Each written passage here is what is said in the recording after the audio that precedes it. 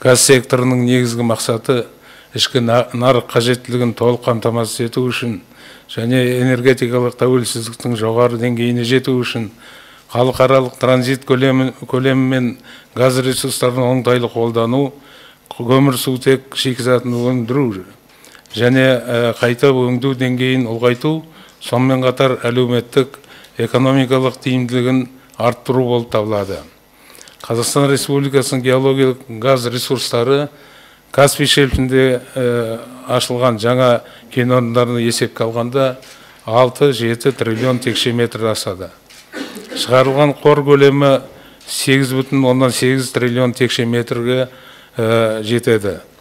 Теңіз қарашығанақ қашаған мен кен орындардың қоры қазақстанның барлық қор көлемінің жетпіс бес пайызын құрайды. Целях создания эффективной системы, системы гражданско-правового регулирования отношений субъектов газового рынка в январе 2012 года был принят закон о газе и газоснабжении, определяющий правовые и экономические основы регулирования общественных отношений в сфере газа и газоснабжения в Республике Казахстан. С целью создания в Республике единой системы газоснабжения газом правительством Республики Казахстан в июле 2012 года был определен национальный оператор на рынке газоснабжения с особым правовым статусом и правом преимущественного приобретения сырого и товарного газа. В целях реализации основных положений закона о газе и газоснабжении в 2012 году были приняты правила определения цены сырого и товарного газа, приобретаемого национальным оператором в рамках преимущественного права государства и правила определения предельных цен оптовой реализации товарного и сжиженного нефтяного газа на внутреннем рынке. К сожалению, практика показала, что при разработке правил не была учтена некоторая специфика газового рынка, в связи с чем имелись определенные недоработки в формуле определения цены сырого товарного газа, приобретаемого национальным оператором, а также в формуле определения предельных цен оптовой реализации товарного газа.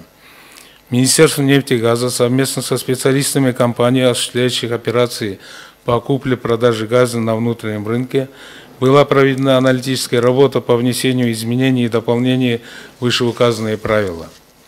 По цене покупки газа у недропользователей – в соответствии с законом Республики Казахстан о газе и газоснабжении, Республика Казахстан имеет преимущественное право перед другими лицами на приобретение отчуждаемого сырого газа, принадлежащего недропользователям, а также товарного газа, произведенного недропользователями в процессе переработки им сырого газа.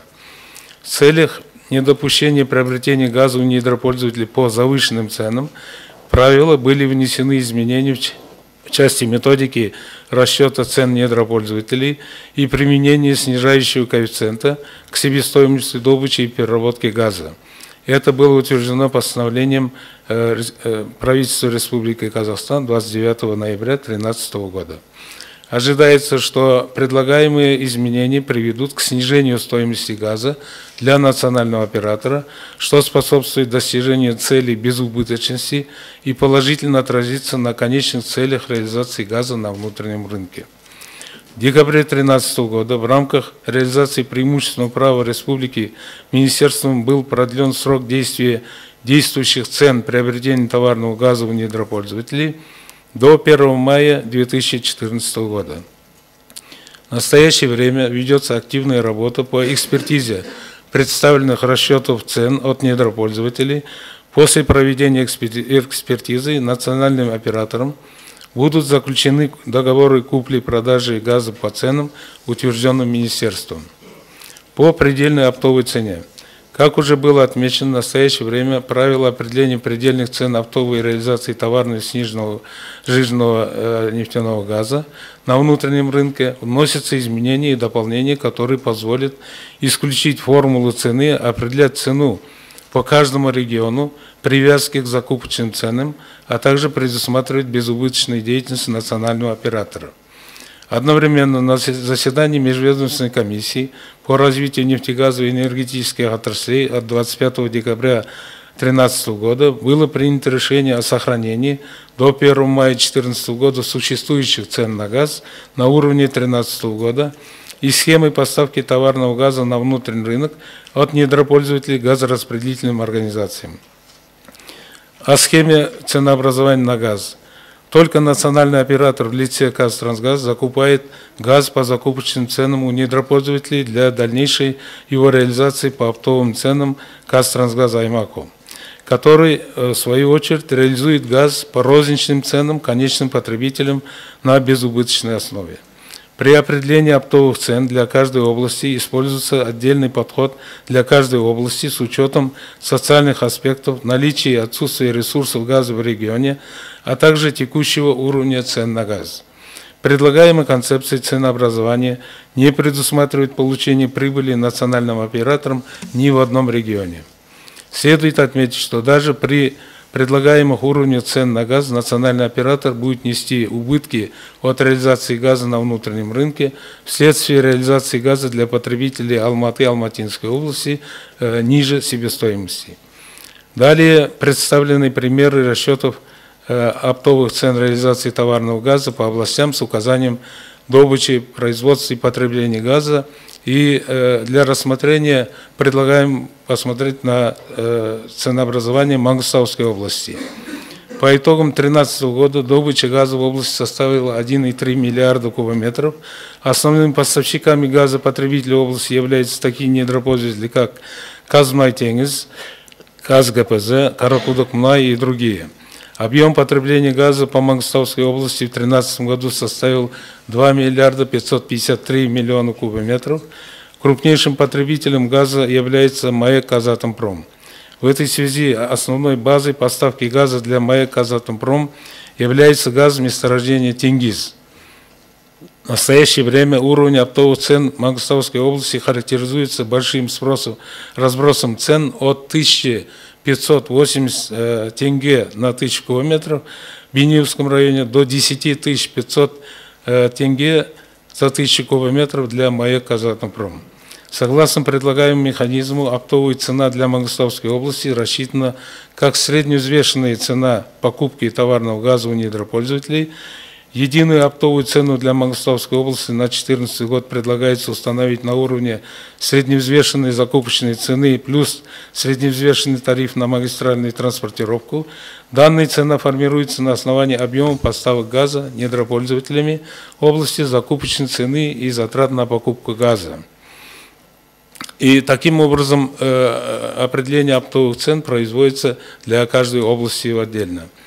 И на вот этом слайде, который сейчас демонстрируется, представлена таблица прогнозных предельных цен оптовой реализации товарного газа на 2014 год, в которой отображены изменения цен на внутреннем рынке по областям, а также указаны темпы роста оптовых цен. Структура розничной цены природного газа складывается исходя из покупной цены газа и затрат на газораспределительных организаций. С экономической точки зрения природный газ является таким же товаром, как и другой. То есть через цену возмещаются расходы недропользователей на добычу газа, переработку на заводе, транспортировку и реализацию газа конечным потребителям, в том числе и населению. Таким образом, проводимая Министерством работа по формированию ценовой политики в сфере газоснабжения, безусловно, окажет положительное влияние на развитие Э, газовой отрасли позволит обеспечить бесперебойное снабжение товарным газом всех потребителей, а также эффективно осуществлять государственную политику в сфере газа и газоснабжения. 90% добываемого в Республике Казахстан газа – это попутный газ. Из нефтегазовых месторождений э, вначале добываются жидкие фракции углеводородов. С этой целью в настоящее время часть добываемого газа нефтяного газа, порядка 30% закачивается обратно в пласт для поддержания пластового давления, около 15% используется на собственные технологические нужды, выработка электроэнергии и э, в том числе сжигание газа. Порядка 55% составляет производство товарного газа, при этом наблюдается значительный рост объемов обратной закачки до 30% и более и объем внутреннего потребления товарного газа по данным Акиматов областей относительно текущих показателей, что может привести э, по нашим расчетам к 2024 году возникновению дефицита газа. Учитывая, что в основном добываемый газ является попутным, динамика добычи и производства товарного газа определяется темпами добычи нефти. Согласно прогнозам баланса производства и потребления товарного газа, представленного на слайде, валовый уровень добычи газа в 2030 году составит 54 миллиарда кубометров, что на 25% будет выше добычи в 2013 году. Уважаемый Сергей Николаевич, по вашему поручению мы приступили к разработке концепции развития газовой отрасли республики, где в том числе будет проанализирована ситуация с возможным дефицитом газа на внутреннем рынке в будущем. В данной концепции необходимо будет предусмотреть ряд критериев по определению приоритетности газификации тех или иных районов, населенных пунктов и вновь вводимых промышленных и других объектов. Соответственно, в результате этого баланс газа может меняться. Вместе с тем необходимо ответить, что будут проведены работы по предупреждению возможного дефицита газа на внутреннем рынке РК. Это активизация геологоразведочных работ и вывод в, эксплуатацию, ввод в эксплуатацию новых газовых месторождений, рассмотрение возможности внедрения единой инфраструктуры по подготовке газа, добываемой разными недропользователями, это наподобие как Каламкас, море, жемчужины и другие, диверсификации транспортной инфраструктуры по поставкам газа на внутренний рынок, это строительство перемычки магистрального газопровода в Союз и Средняя Азия Центр и другие меры. Спасибо за внимание.